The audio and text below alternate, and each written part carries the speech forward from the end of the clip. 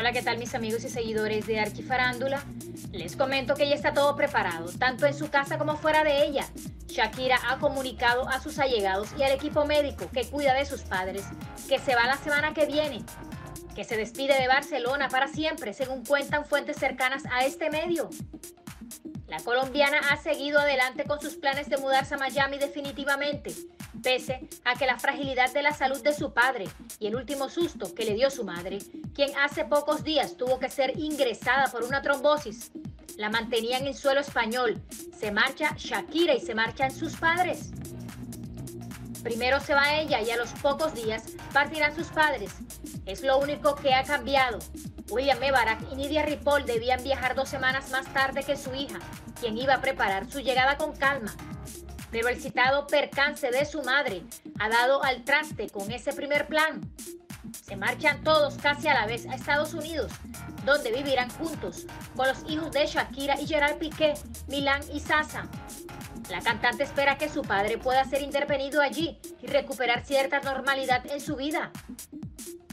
El susto que su madre dio hace dos semanas provocó ciertas dudas en la cantante, que pensó que quizás no podía volar hacia su nuevo destino, porque una trombosis puede ser peligrosa para realizar un vuelo, aunque sea de corta distancia, así que uno de larga distancia se antojaba algo complicado.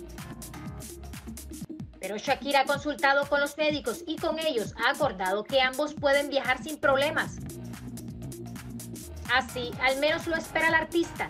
Además, el avión del padre y la madre es un aparato medicalizado en el que viajará una doctora acompañándoles y estando pendiente de ellos en todo momento.